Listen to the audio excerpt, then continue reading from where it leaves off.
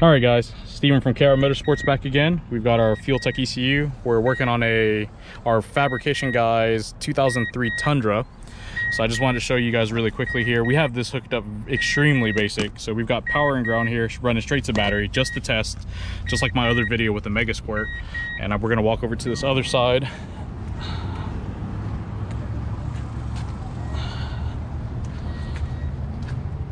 so like in my other video i told everyone how you guys need to wire everything up just to test it. We have this patch harness here.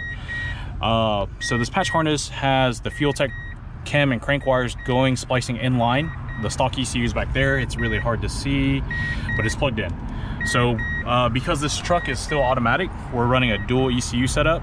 And so just like i tell everybody when you're trying to do something crazy you need to do the bare minimum to get this thing to see if it works. So we have cam and crank hooked up going straight to the fuel tech. We have constant power and ground on the fuel tech.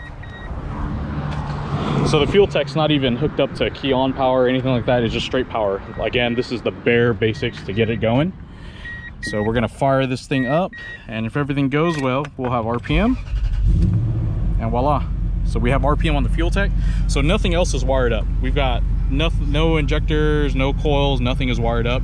We're just testing to see if we can get RPM signal. As you can see, we've got RPM signal here, uh, 900 RPM or so, matches the dash. So we're good to go here and ready to move forward.